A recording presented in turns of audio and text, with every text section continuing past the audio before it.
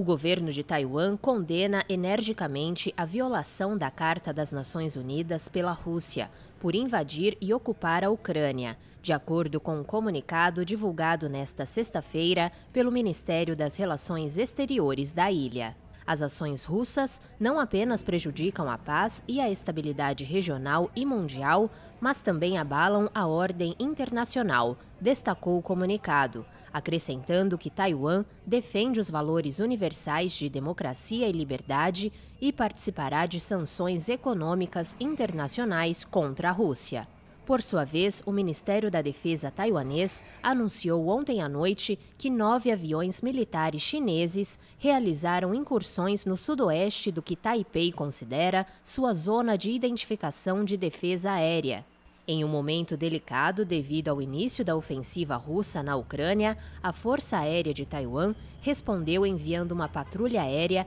para rastrear e expulsar os aviões vindos do outro lado do Estreito de Taiwan, detalhou o ministério.